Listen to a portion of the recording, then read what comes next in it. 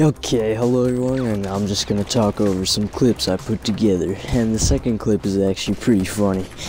So anyways, I thought I would uh, stop my slacking streak and uh, come out with a few videos today. I came out with one before, connectivity problems, which was a pain in the cheeks.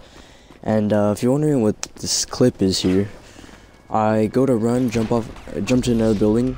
I was hopefully gonna land on that balcony, but then I was shot. And here's the funny one. Uh, well, at least I thought it was funny. So I was in my house in Paleto Bay. I was looking at the cameras. There's this guy in the front lawn shooting stuff. And then out of nowhere, a guy in a fedora comes in and just starts like hitting him and then and then there's a fist fight right in front of my garage while I'm while I'm sitting on a couch watching cartoons. And then look at this, freaking hillbillies running around with shotguns on my front porch.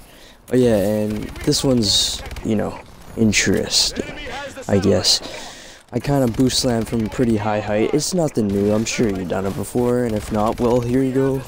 Now you can think you've done it because you watch this. What am I saying? And I'm using the KF5 because it's a marshmallow gun and I love marshmallows. And watch this. Boom! Smack down. Headshot. That was a headshot too. I like that. Alright, see you guys later.